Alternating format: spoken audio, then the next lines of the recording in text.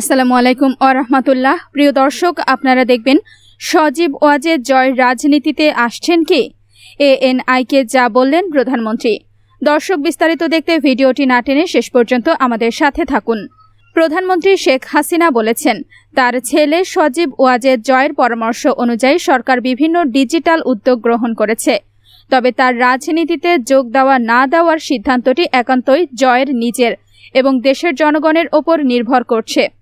ভারতীয় বার্তা সংস্থা এএনআইকে দেওয়া এক সাক্ষাৎকারে প্রধানমন্ত্রী একথা বলেছেন।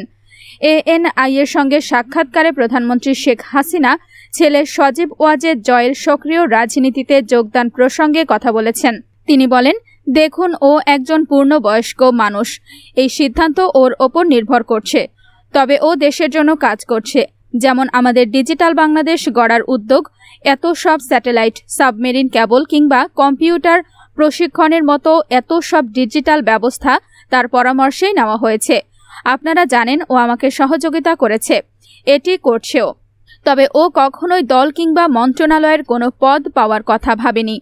এক সমাবেশে জয়কে দলীয় একটি পদে দায়িত্ব দেওয়ার জন্য কর্মীদের পক্ষ থেকে জোরালো দাবি উঠেছিল বলে উল্লেখ করেন শেখ হাসিনা। এই ঘটনার প্রসঙ্গ টেনে তিনি বলেন, আমাদের দলীয় সম্মেলনে পর্যন্ত তার জন্য জোরালো দাবি উঠেছিল। তখন আমি ওকে বললাম, মাইক্রোফোনের কাছে যাও এবং বলো তুমি কি চাও। ও তাই করল। বলল, আমি এই মুহূর্তে দলে কোনো অবস্থান চাই না, বরং যারা এখানে কাজ করছেন তাদের এই পদ পাওয়া উচিত।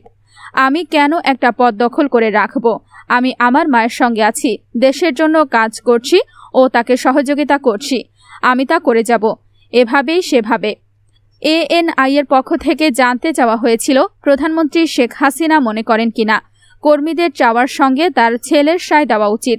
জবাবে তিনি বলেন, এটি জনগণের ওপর নির্ভর করছে। এক প্রশ্নের জবাবে প্রধানমন্ত্রী আরও বলেন, বাংলাদেশে পরিবারতান্ত্রিক রাজনীতির বিষয়টি কোনো গুরুত্বপূর্ণ ইস্যু নয়।